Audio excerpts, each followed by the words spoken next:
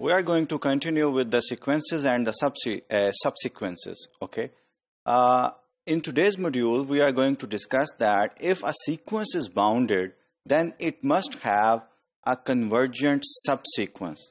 अब ये जो स्टेटमेंट है इसको हम फॉर्मली देखेंगे कि what are the different ways of defining that statement and इसको फॉर्मली प्रूफ भी करेंगे कि अगर एक सीक्वेंस जो है वो बाउंडेड आपका सीक्वेंस हो तो उसका किस तरह से हम जो है we will always have a subsequence which is convergent अब कन्वर्जेंट का मतलब क्या है? ये भी आपकी अंडरस्टैंडिंग है। सब सीक्वेंसेज क्या है? ये भी आपको डेफिनेशन भी हमने लास्ट वीडियोस में डिस्कस की है और डेफिनेशन और सर्टन एग्जांपल्स के साथ वीडियोस में डिस्कस भी किए हैं। Let's go to the slide so a bounded sequence has a convergent subsequence this is the our main result which I am going to discuss in today's module.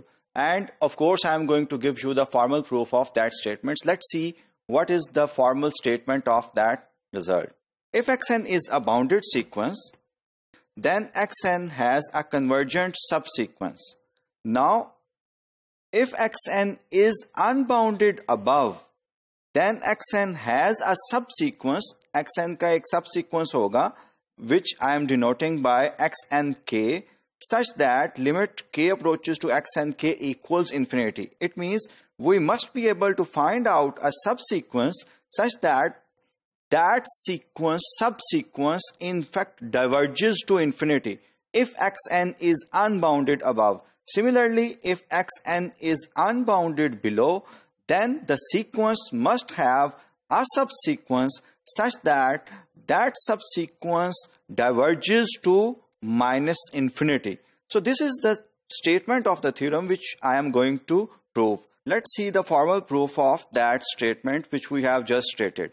Let us be the set of distinct numbers of sequences terms xn एक sequence है आपके पास xn what does it mean by distinct numbers of that sequence for example अगर हमारे पास xn sequence defined है by this way xn equals minus 1 raised to power n अब आप n equals 0 1 2 3 so on and so forth values देते जाएं आपके पास क्या values आएंगी 1 minus 1 1 minus 1 1 minus 1 so on and so forth so you will always have 1 and minus 1 so distinct numbers of that sequence x and r is the set 1 and minus 1 Similarly, I have given another example. If your sequence xn is defined by this one, 1, 1 by 2, then 1, then 1 by 3, so on and so forth, then the distinct numbers of that sequence is a set S which is defined by 1, 1 by 2, 1 by 3, 1 by n, so on and so forth.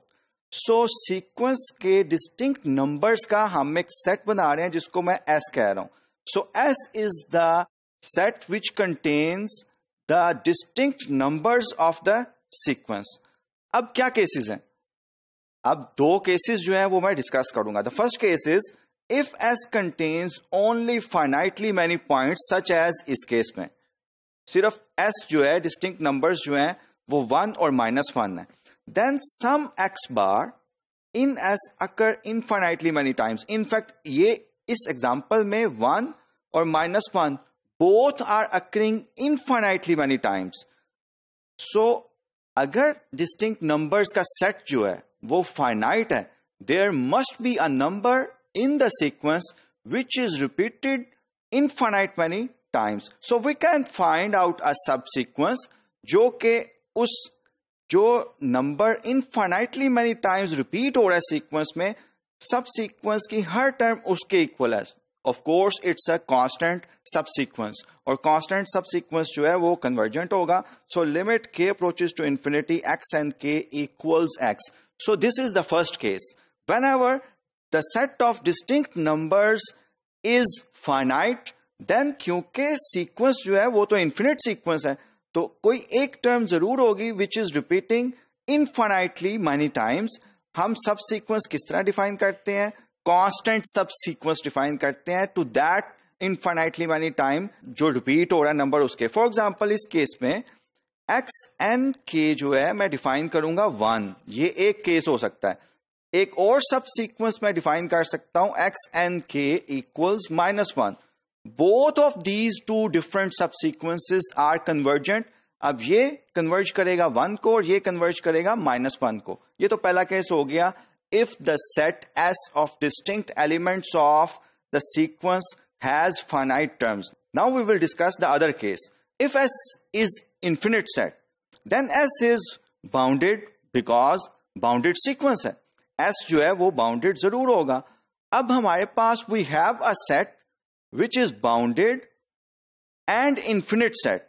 So we can apply the Bolzano-Weierstrass theorem जो हमने proof किया था real numbers set के बारे में Bolzano and Weierstrass theorem states that S must has a limit point x bar अब x बार जो है, इसका लिमिट पॉइंट अगर होगा so by definition of the limit point there must exist numbers y j let say such that limit j approaches to infinity हो तो x बार आए। ये लिमिट की डेफिनेशन है। So there is a sequence of points y j in S और S कहाँ से आ रहा है? वो ओरिजिनल बाउंडेड सीक्वेंस में से आ रहा है।